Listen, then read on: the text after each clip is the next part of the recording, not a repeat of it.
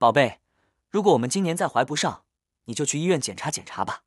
不要，为什么是我去？你怎么不去？我就真的没问题啊？你怎么就知道你没问题？我前女友为我打过胎。你确定你前女友的就是你的？我为我前男友打过胎。我真的累了，我不明白我这么坚持的意义在哪里。我每天给你和他买早餐，我真的累了。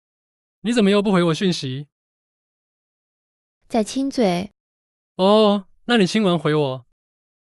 亲爱的，男朋友到底要找什么样的比较好？嗯，我给你五个建议：第一，找个能让你笑的男人；第二，找个有稳定工作的男人；第三，找个喜欢做家事的男人；第四，找个能和你灵魂契合的男人；第五，不要让他们四个人见面。你是不是漏掉一个？那件事不重要吗？